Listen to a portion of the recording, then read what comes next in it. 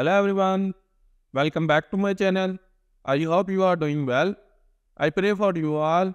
God give you a long life and you live always happily there. Please like and share this video and also subscribe my YouTube channel. I have a request to you all. Watch this video till end for supporting me.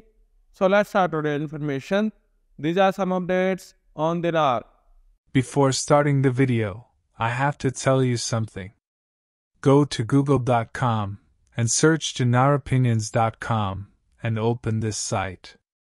Here you can see the latest news, Dinar opinions, and Dinar Guru updates on a single page. So visit this site for more information. I wrapped up this week talking about all the progress that has been made. What has been done since January? Big things like joining the World Trade Organization as an observer status, which has been ongoing since 2004. In February to August, we see they are gearing up for full ascension to the WTO, and this is a big deal. They will be out in the world economy again and in the global financial system. My understanding is they have the security and stability in the country. Enough that we can see all the countries making deals and doing things with Iraq. Iraq is going to make a lot of money, once they have an Article 8 exchange rate. That is required, for full ascension, all of us will have a different venue in a short period of time. Question What do you think the rate should be? You have to understand this is a Middle Eastern currency. Do you think it should have the value it has now? Of course not. Saudi Arabia, what's your exchange rate to the dollar? $3 plus. UAE, what's your exchange rate to the dollar? $3 plus. Saudi Arabia. What's your exchange rate to the American dollar? $3 plus. Do you get my point? If they lift three zeros, that's still not enough because that would be at a 1 to 1.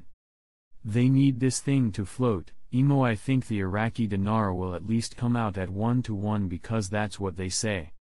Then I believe deep emo they are going to float this currency. That's when it's going to get tough on you. You're going to be so tempted to go to the bank and exchange everything you've got at 1 to 1. Wouldn't you like to exchange at 2 to 1? 3 to 1? I believe one to one is their goal, but the hard part is for you to decide if you want to exchange at a higher exchange rate.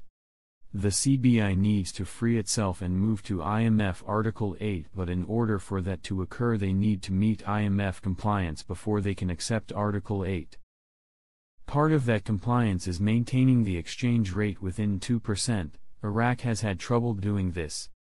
Until they figure out how to make a stable exchange rate within country I don't see them accepting obligations of Article 8. As far as Iraq revaluing their currency there is no more problems, if they're going to be regional you've got to look at Iran, Saudi Arabia. All these local currencies, and you can average out the value of the currencies of the Middle East. They need to maintain that balance. Either way it's going to be a major revaluation. With the extended holiday this week between now and Thursday, the indicators seem to be really coming together. We see that 1132 rate all the time behind the scenes, but the CBI has a different rate that is published.